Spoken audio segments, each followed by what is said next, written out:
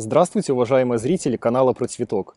Меня зовут Дмитрий, я садовник и владелец личного подсобного хозяйства. Совсем скоро начнется активное сокодвижение, набухнут почки на деревьях. Но сейчас нужно поспешить с обработкой сада ранней весной, пока еще эти процессы не начались. В этот период сад нуждается в обработках, искореняющих обработках, для того, чтобы на растениях не возникали и не появлялись различные заболевания. Сегодня я расскажу о тех препаратах, которые можно использовать для обработки ранней весной. Первый препарат, о котором я хочу рассказать, это бордоская жидкость. Вот такие упаковки продаются. В этот период, ранней весной, мы используем для обработки сада 3% раствор. Чтобы приготовить такой раствор, понадобится 300 грамм медного купороса и 400 грамм извести. Медный купорос является фунгицидом, который защищает растения от болезней, а известь э, предотвращает ожоги на растениях, и благодаря извести раствор долго держится на ветвях, э, то есть раствор не смывается долгий период дождями. Чтобы приготовить раствор, разбавляем небольшом количестве теплой воды 300 грамм медного купороса. Это нужно делать в отдельной емкости. Понадобится примерно 2 литра теплой воды. Температура примерно 40-50 градусов, не выше. Кипятком не следует разбавлять. В другой емкости, в небольшом количестве воды, размешиваем известь. После того, как все компоненты мы растворили, смешиваем оба раствора вместе и доводим объем водой до 10 литров. Э, в данном растворе могут присутствовать все-таки не растворившиеся кристаллы медного купороса и извести и комочки извести. А, для того, чтобы наш опрыскиватель не забивался, раствор нужно процедить. Для этого используем специальные фильтры, которые есть у опрыскивателей, либо процеживаем раствор через марлю. Обработку бордоской жидкостью нужно проводить в сухую и безветренную погоду при температуре не ниже плюс 3 градусов. Нужно отметить, что раствором такой концентрации мы обрабатываем сад только ранней весной. В вегетативный период, когда у нас на кустарниках и деревьях есть листья, сад обрабатываем только однопроцентным раствором во избежание появления ожогов на листьях. Обрабатывать бордоской жидкостью можно как плодовые деревья, так и ягодные кустарники. Можно обрабатывать и декоративные культуры, например, те же розы. А, после того, как мы обработали сад таким раствором, ветви окрашиваются в голубой цвет, поэтому называют такую обработку голубым опрыскиванием. После обработки сада можно приступить к побелке. Побелку все-таки выполняют в осенний период, чтобы защитить наше растение от появления ожогов э, и различных повреждений коры в весенний период. Однако за зиму побелка может смываться дождями, и в весенний период не будет лишним ее обновить. Для обработки сада можно использовать и другие препараты. Например, препарат Хорус. Данный препарат также действует при низких положительных температурах. Обработку сада мы проводим при температуре от плюс 3 градусов тепла.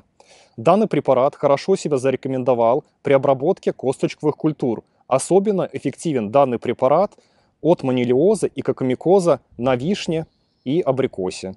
Поэтому всем рекомендую проводить обработку сада также вот этим препаратом. Еще один препарат, который можно обработать, является Абигапик. А, это также медь содержащий препарат, однако в отличие от бордоской жидкости температура для обработки сада для обработки сада должна быть немного выше. Данный препарат действует при температуре от плюс 9 градусов.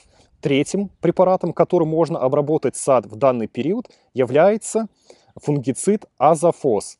Он продается в жидкой форме, в бутылках литровых, э, в поллитровых бутылках. Понадобится 450 мл э, жидкого азофоса на 10 литров воды.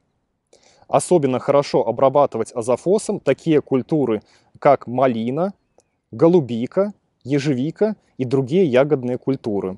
В интернете можно найти информацию о том, что сад хорошо обрабатывать медным или железным купоросом. Однако медный купорос недолго держится на ветвях, он быстро смывается дождями. А железный купорос не такой уж эффективный против грибковых заболеваний, он имеет более низкий искореняющий эффект. Однако раствор железного купороса 3% раствор можно также использовать для обработки сада, особенно старых деревьев, на которых, на которых есть лишайники. Раствор железного купороса хорошо справляется с ними. Также железный купорос может уничтожать и некоторых вредителей, таких как медяница. Продолжительность действия железного купороса на ветвях примерно 2 недели. Затем он быстро смывается дождями. Как только почва оттает, начнется активное сокодвижение, начнут появляться, э, распускаться почки, появляться листочки, корневая система начнет хорошо функционировать, мы приступаем к подкормкам сада э, минеральными удобрениями. Ранней весной не следует торопиться с подкормками. Когда почва еще замерзшая, корневая система не функционирует, и подкормки могут только лишь навредить. А, следует проводить подкормки, когда начинается процесс вегетации. Ранней весной следует подкормить наши растения азотом. В этот период больше всего они нуждаются в данном элементе питания для активного роста и развития. Какие же удобрения можно использовать? Весной не всегда температура подходящая, и многие азотные удобрения плохо усваиваются растениями. Лучше всего использовать в этот период аммиачную селитру. Азот из аммиачной селитры хорошо усваивается при невысоких положительных температурах. Для подкормки растений можно использовать э, удобрения как в сухом виде, так и для приготовления жидкого раствора.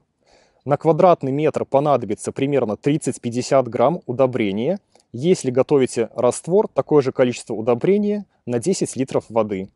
Если почва весной очень сухая, то предварительно перед, под, перед подкормкой ее нужно пролить чистой водой, чтобы корневая система не пострадала. Многие подкармливают наши плодовые деревья, просто посыпая удобрения а, вокруг ствола, просто по газону. Однако при такой подкормке мы подкармливаем газон, а не растение. Растению, основному нашему плодовому растению, либо ягодному кустарнику э, питание достается в меньшей степени. Для того, чтобы правильно подкормить э, плодовое дерево, нужно проделать отверстие в газоне на глубину 20-30 см по всей проекции кроны. И в эти отверстия засыпать удобрения, либо залить жидкий раствор э, удобрений. Для тех, кто предпочитает подкормки натуральными удобрениями, можно использовать подкормки органическими удобрениями. Это могут быть настои куриного помета, навоза, либо использование навоза и компоста. Нужно сказать, что подкормку азотным удобрениями э, выполнять нужно не всегда.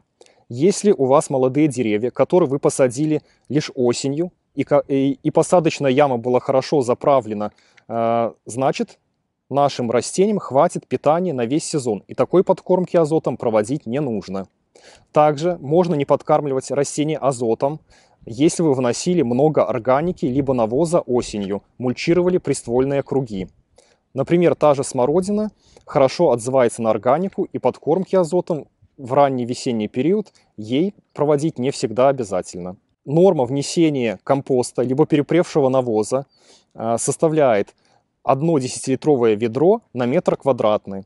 Обязательно сделайте все необходимые подкормки и обработки весной в своем саду, чтобы летом получить богатый урожай. Спасибо за лайки и подписку. До новых встреч! Thank you